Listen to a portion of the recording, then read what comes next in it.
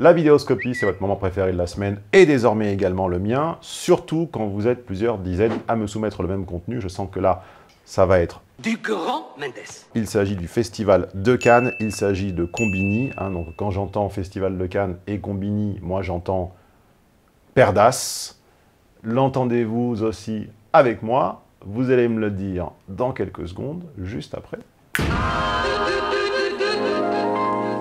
Bon alors Fredo, au-delà de 14 ans, ça l'intéresse plus. Hein. Au-dessus de 14 ans, c'est dégueulasse Nous, c'est tout le contraire. Il y a deux ans, pour le 14e anniversaire, c'était 14% plus 14% de remise sur toute la boutique. L'année dernière, c'était 15 plus 15. Cette année, je vous demande de bien vouloir deviner combien ça va être. Et ouais, cette année, c'est 16%. Coupon numéro 1, 16 ans. 16ANS, plus 16%. Coupon numéro 2, il vous est réservé à vous qui me suivez sur YouTube 2022. 2, 0, 2, 2, plus la remise groupée de Nono qui augmente en fonction du nombre d'articles dans votre panier. Au total, vous pouvez monter jusqu'à 50% de remise. Mais, mais, mais, mais, mais, non seulement c'est la plus grosse remise de l'année, mais en plus, je vais devoir pratiquer dès la fin de l'anniversaire un réajustement des prix. Et oui, 5 ans 5 ans que je vous protège de l'inflation avec mes petits bras musclés. Bon, là, je ne tiens plus, tous mes fournisseurs augmentent, comme tout le monde. Donc, dès l'issue de l'anniversaire, il y aura un réajustement des prix des séminaires de 175 à 195 euros la demi-journée. Une double raison de profiter de l'anniversaire 2022. C'est sur toute la boutique. Date, lien, détail à l'écran et en description de vidéo. Rodéo, en fait, sans accent pour moi, c'est le rodéo en fait américain. C'est un terme de la bike life. Alors, euh, je ne sais pas bien dans quel pays ce film se passe. J'ai ma petite idée, mais encore une fois, désormais, euh, c'est plus tellement au physique des protagonistes qu'on sait dans quel pays on est. Ça, il faut s'y habituer. En tout cas, si tant est qu'on est en France, on, on, est déjà à deux expressions, je crois, en anglais, enfin en, américain en fait, hein, la langue de l'Empire. Euh, deux expressions su sur deux phrases. Hein. Moi, c'est le rodéo en fait américain, c'est un terme de la bike life. Ce qui me paraît déjà un bon signe qu'on est en présence de quelqu'un qui, euh, bah, comme j'aime à le répéter, n'a pas forcément euh, tous les anticorps. Quels anticorps? Bah, Pas les anticorps à l'effroyable pandémie qui a décimé la, la, population, non, les anticorps à la, au diktat impérial.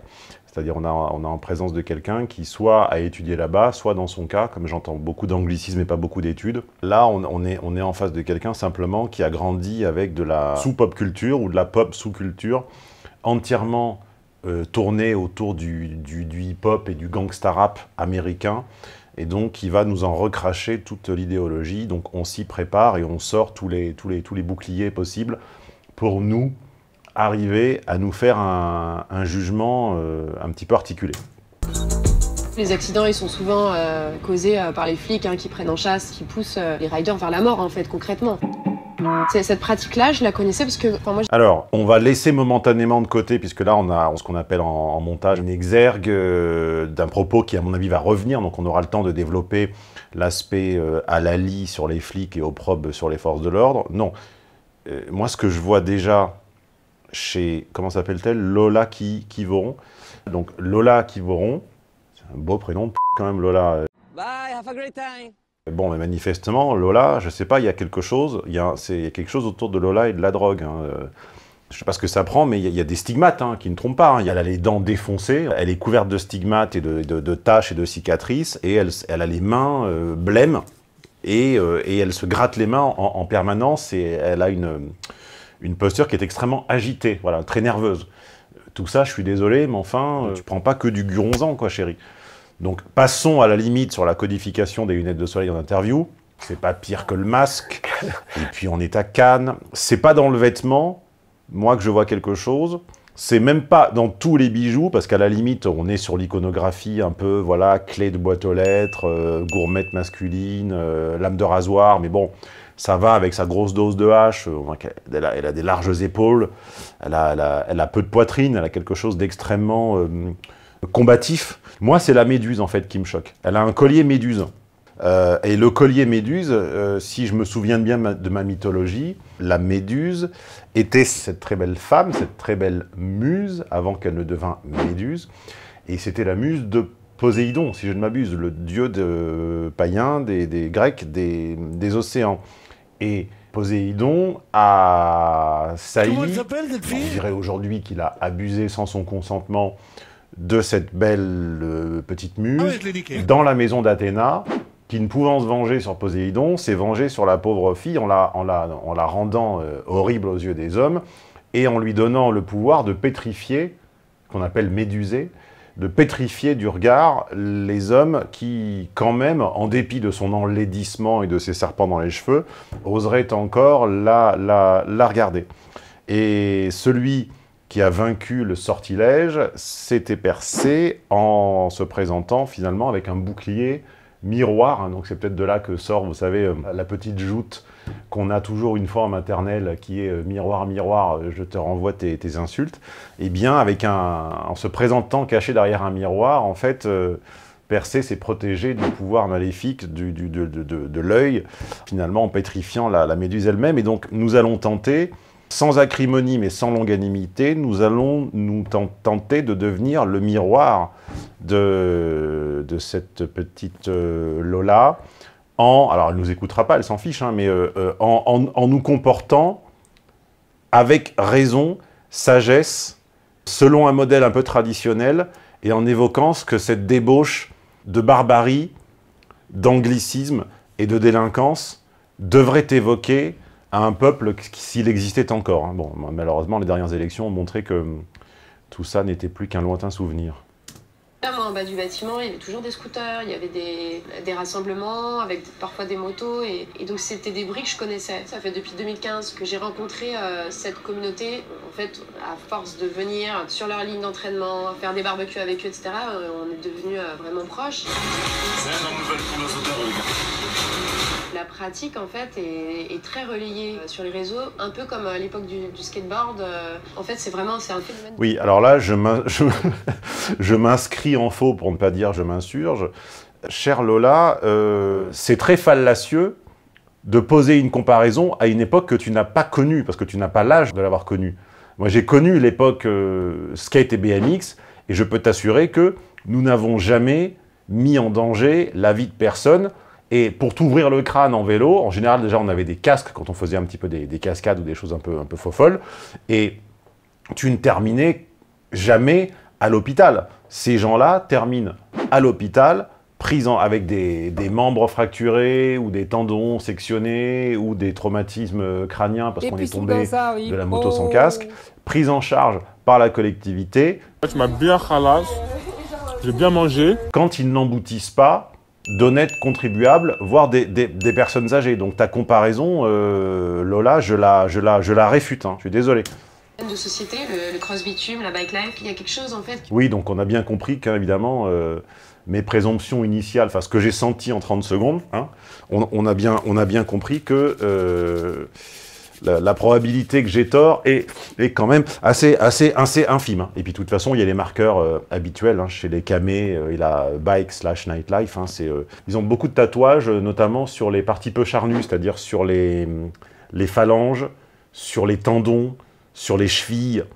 Euh, sur les mains. Il y a quelque chose de l'ordre de la, de la, de la, du déclassement euh, que ne réfuteraient pas les auteurs qui ont travaillé sur le sujet, notamment euh, il y a un excellent livre de Theodore Dalrymple qui est un médecin qui travaillait en proche collaboration avec les services sociaux en Angleterre et qui a vu passer tout un tas de, comme ça, de, délinquants de, toutes de, de sortes, déclassés et délinquants, voire les deux en même temps, et qui confirme absolument tout ce que je vous dis depuis des années, donc on montrera le livre.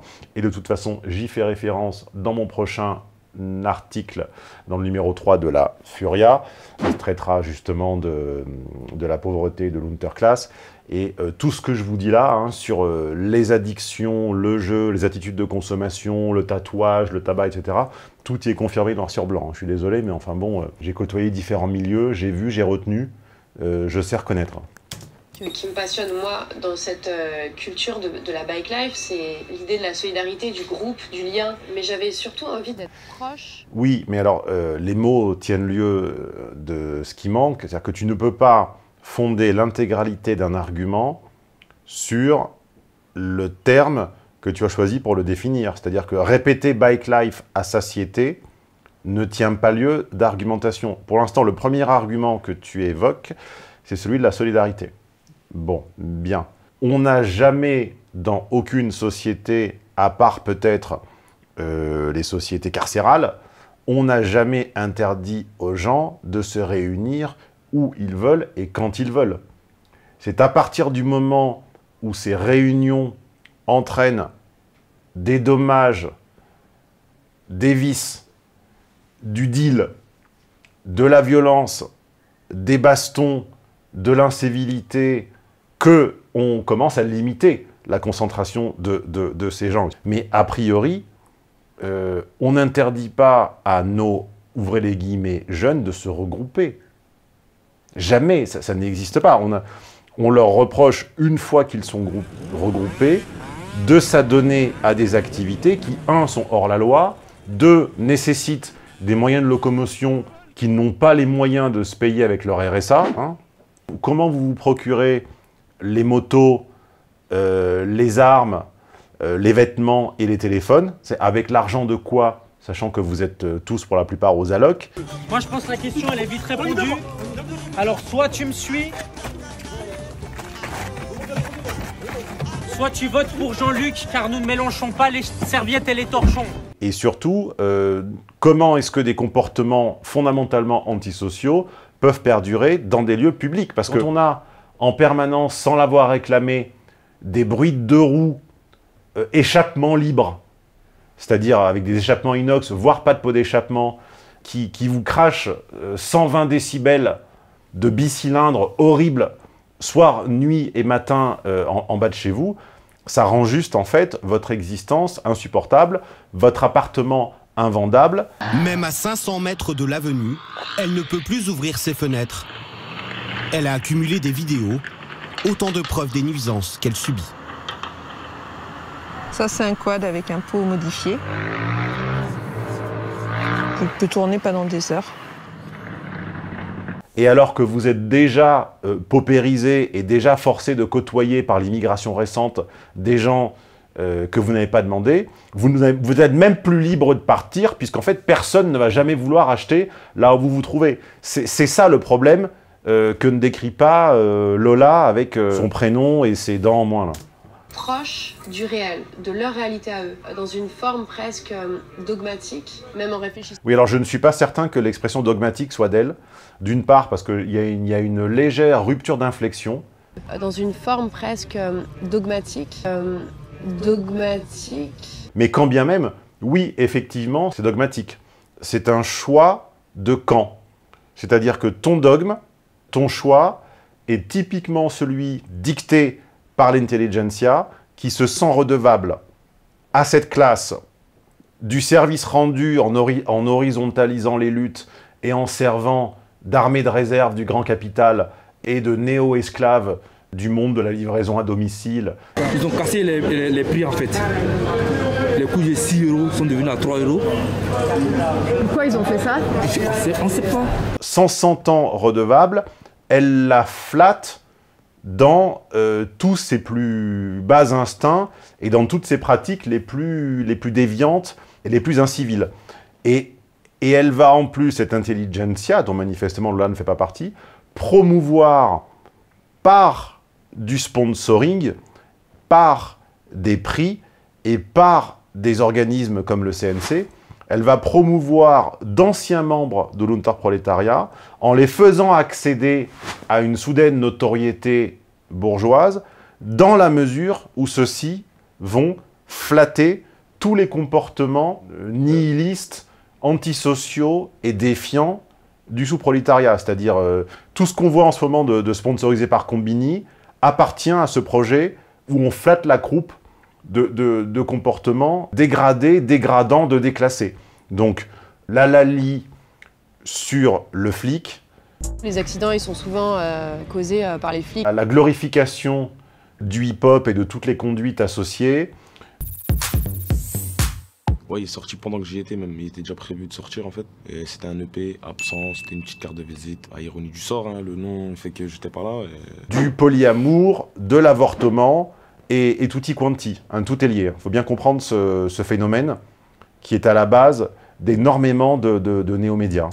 Je sens, à, genre, c'est quoi le sens de la pratique? Et c'est quoi la poésie de la pratique? C'est quoi euh, le fait de, justement, se, de se fabriquer des familles alternatives à l'endroit où, euh, dans les appartements, euh, dans les foyers, c'est décomposé? Ah bah, justement, alors euh, je viens de le dire, quand j'ai dit euh, polyamour et, ouvert- et- et avortement, j'ai oublié l'essence, enfin c'est tellement évident, c'est à la base père absent, hein, c'est-à-dire euh, euh, Cindy, euh, trois gosses de trois pères différents, euh, en couple ouvert, c'est-à-dire en trouble euh, avec euh, deux, trois personnes, et au milieu de ça, les gamins qui se reconstituent une famille dans la rue. Mais encore une fois, bon, on peut se sortir de l'unitaire par le haut, sans tomber dans la délinquance, quand bien même le père n'aurait pas servi à grand-chose, ça s'appelle la qualité, ça s'appelle le caractère, ça s'appelle ne pas céder à sa pente, et ça s'appelle ne pas choisir la voie la plus, la plus, la plus facile. Ce que les physiciens appellent le, chemin de moindre résistance, ou la voie de moindre résistance. Bon là, malheureusement, euh, ce sont des vertus dont nous ne sommes pas tous dotés à parts égales. C'est quoi ici Pour taper les bécales, pour plaquer les numéros. Vas-y, bouge de là. Bouge, je t'ai dit.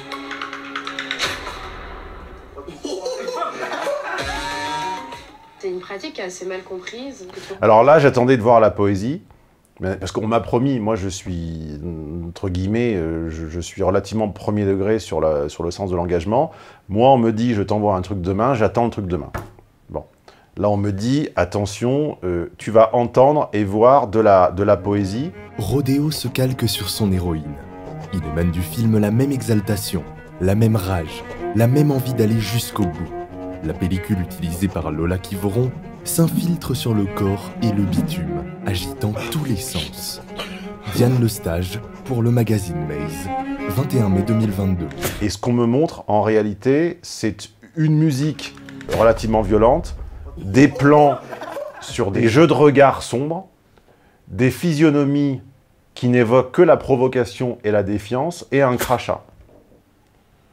Donc, euh, alors il faut, redéfinir la notion même de poésie, hein, un peu à l'instar de ce que disait Lucchini euh, citant Paul Valéry. Les hommes ont une idée si vague de la poésie que ce vague même est pour eux la définition de la poésie. C'est admirable. Dans ces conditions-là, j'apprends que la prochaine fois que on sera tenté de me cracher dessus ou que je cracherai sur, euh, sur quelqu'un, parce qu'après tout, euh, ça peut être une vocation de poète comme ça inexploitée, eh bien, euh, c'est à la poésie que je, je ferai, je ferai appel.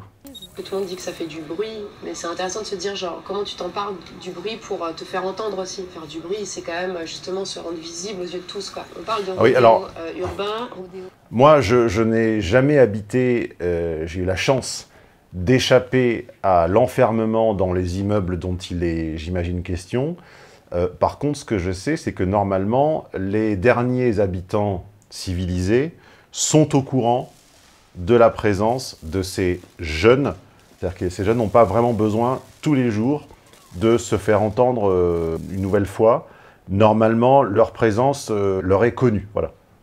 Rodéo sauvage, c'est pire, parce qu'en plus ça fait penser à ensauvagement. Donc là, on a envie de rayer à fond ces idées, ces imageries, qui sont des imageries euh, complètement réactionnaires. Et rodéo, en fait, Oui, alors euh, effectivement, Euh, oui, on peut, on peut, on peut rayer euh, tout ce qu'on veut, on peut casser le thermomètre, on peut supprimer des mots, sauf que le principe même d'une idée ou d'un fait, c'est qu'elle ne disparaît pas en rayant le mot. C'est purement totalitaire, ça. C'est-à-dire, euh, en interdisant de prononcer des mots dans le débat public, on imagine que euh, les menaces vont s'effacer ou, ou s'évanouir.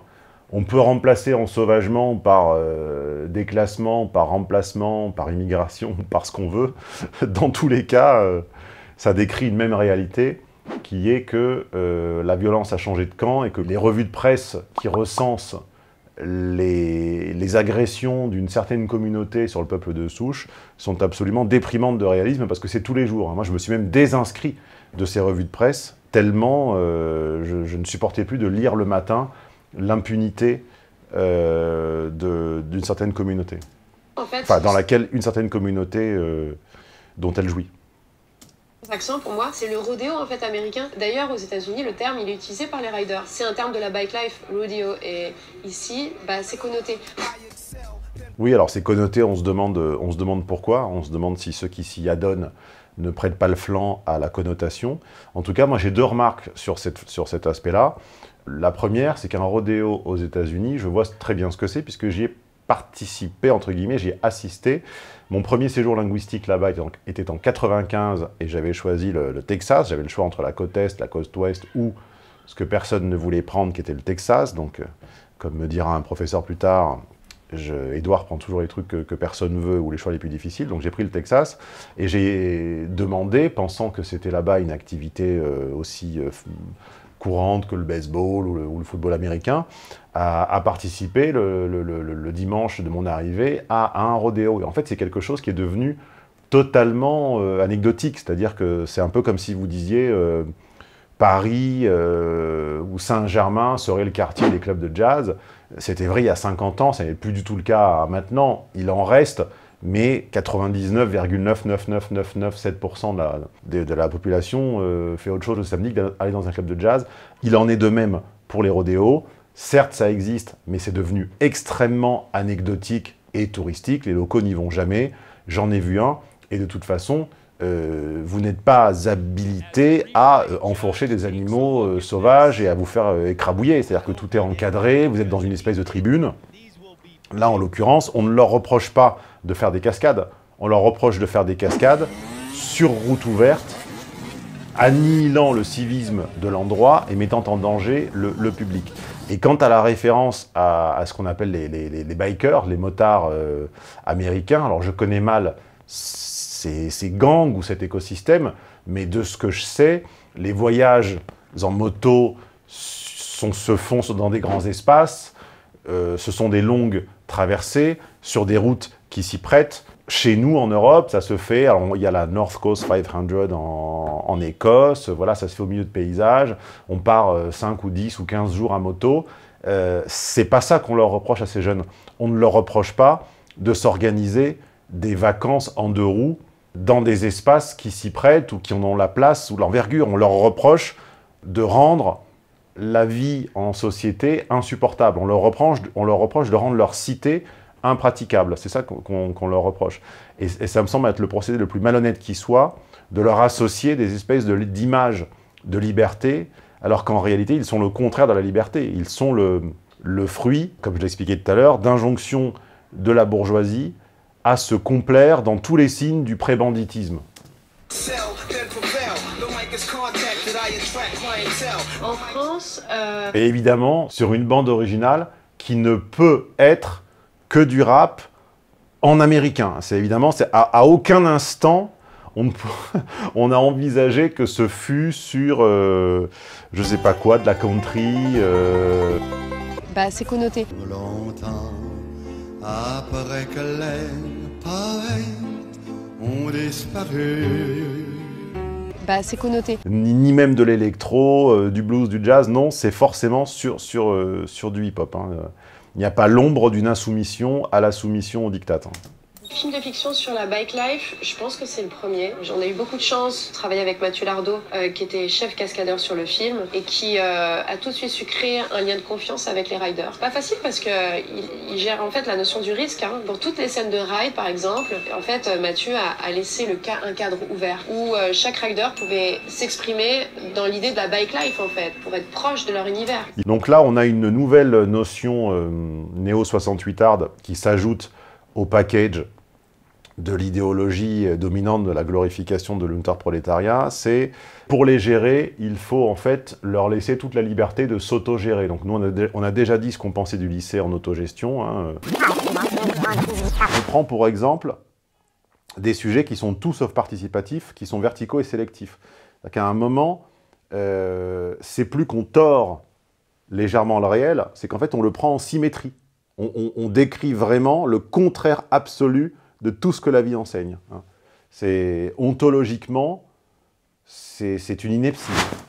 Et là, euh, l'idée, c'est que même quelque chose d'aussi codifié, spectaculaire et dangereux que la cascade doivent être laissés à l'initiative de, ces petits électrons libres. Sauf que j'ai également, euh, euh, je regardais plus jeune également beaucoup de films d'action. J'ai des souvenirs de poursuites auto, euh, et il y avait des cascadeurs en France très connus, comme euh, je crois que le plus connu s'appelait Rémi Julienne et, quelques-uns, quelques autres. On cherchera des extraits d'interviews où je, ne conçois pas un seul instant que leur métier ne soit pas que rigueur, organisation et minutage. Tout ce qu'on fait, on le catalogue, on l'étiquette, on le note, les distances, les hauteurs, les, les- la, puissance. Et à partir de ce moment-là, bon, c'est à moi de faire l'équation et de, manière à, dans, le cas d'une situation donnée comme ça, mettre la dose exacte. Pour ne citer qu'un exemple, une, jolie poursuite en voiture, c'est celle de Taxi, le premier, tout premier Taxi, avec la 405 ou 406, là, euh, avec la- une Marion Cotillard pré-star, c'était avant Piaf, Euh, le, le riff, enfin le, le groove qui passe derrière, le, timing quand elle double à droite, à gauche, tout ça est, tout ça est, assez esthétisant, assez grisant, bon, notamment quand on a 25 ans, et euh, il n'y a rien d'improvisé. C'est-à-dire que là, je, je n'irai pas voir ce film, mais on m'en enverra certainement des extraits.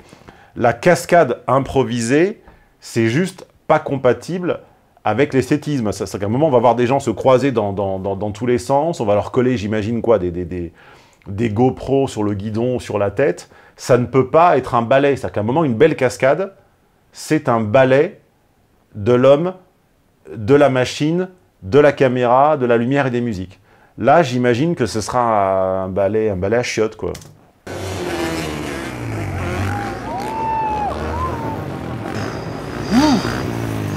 Il s'agissait de chorégraphier ou quoi. Il s'agissait juste de créer un dispositif tenu qu'ils connaissent, par exemple les rassemblements sur les lignes, et donc de les rassurer sur ce cadre-là. En fait, euh, la pratique, elle est criminalisée à, mort parce qu'elle est illégale. Oui, donc là, c'est un renversement des, valeurs, euh, euh, bah, encore une fois, hein, qui, qui qui n'envie rien au totalitarisme, c'est-à-dire les mots ont le sens que vous, voudrez bien leur donner, hein, c'est totalement orwellien. La pratique est criminelle, non. En fait, c'est le fait de mettre en danger la vie d'autrui sur des véhicules dont la possession est, euh, euh, dont le propriétaire est inconnu, avec des papiers que vous n'avez pas, sans casque, ça, c'est illégal et c'est criminel. C'est pas le. la, criminalité n'est pas dans l'œil de celui qui regarde. Elle est d'abord dans l'œil de celui qui s'adonne à, à l'illégalité. Il ne faut pas tout renverser. Et qu'il y a eu des accidents, mais surtout les accidents, ils sont souvent euh, causés euh, par les flics hein, qui prennent en Bah oui, chasse bah et qui évidemment. créent une, forme de précarité qui, qui pousse euh, du coup les, les- les riders vers la mort en fait concrètement. Ah bah oui, bah l'anti, l'opprobre évidemment sur le flic, j'avais dit qu'on y reviendrait. C'est une belle épanadiplose de commencer et de terminer par la même euh, interrogation ou assertion. Donc là, c'est bah, c'est de la lalie sur le flic euh, classique. Pourquoi? Parce que le flic, c'est ce qu'on appelle la force de l'ordre. Or, l'ennemi de ce système-là, euh, c'est le prétendu ordre social, ordre social en vertu duquel nos communautés euh, euh, diffamées, mésestimées et injustement valorisées croupiraient tout en bas de l'échelle de la stratification. Donc, s'ils croupissent, c'est pas de leur faute, c'est la force de l'ordre social qui ne leur donne pas toutes les chances nécessaires à ces pauvres chances justement, qui mieux que les forces de l'ordre représentent les forces sociales. Donc parce que l'on nonie l'ordre social, on va euh, jeter l'opprobre sur les, forces de l'ordre qui pourtant parfois, et je n'ai pas été le dernier à le signaler, le méritent. Je m'en suis plaint moi-même il y a quelques années euh, avec le brigadier Louis. J'ai souligné à de nombreuses reprises dans des manifestations, euh, notamment dans Paris Intramuros, avec les Gilets jaunes et compagnie, les abus dont ils, dont ils s'étaient montrés les auteurs. Mais là, en l'occurrence, on ne parle pas du tout de la même chose. Là, on parle vraiment du logiciel euh, gaucho, libéralo, euh, cosmopolito, mondialiste de base, qui, euh, encore une fois, euh, glorifie l'unter, euh, l'untermensch, l'unterprolétariat et, et la racaille dans ce qu'elle a de plus néfaste et lui flatte la croupe en promeuvant ceux qui vont tenter de la rendre, euh, de la rendre sympathique. Et d'ailleurs, en dernière instance, si on doutait de qui a raison dans cette histoire, il suffit de se demander à la fin comment les gens se traitent quand on voit qu'une personne de 30 ans est perclutique, euh, tatouée de partout, à moitié couverte de bleu et qu'il lui manque la moitié des dents. Bon, ben je me dis que finalement, je n'ai, je n'ai rien manqué à suivre ma ligne et que des deux modèles, je sais lequel est le plus à suivre. Voilà. Si cette vidéo vous a ne serait-ce que informé, éduqué ou diverti, c'est le moment de la remercier avec un pouce. C'est important pour le référencement et le référencement, c'est important pour la lutte. Si un passage plairait à un de vos amis, envoyez juste le passage, filmez votre écran.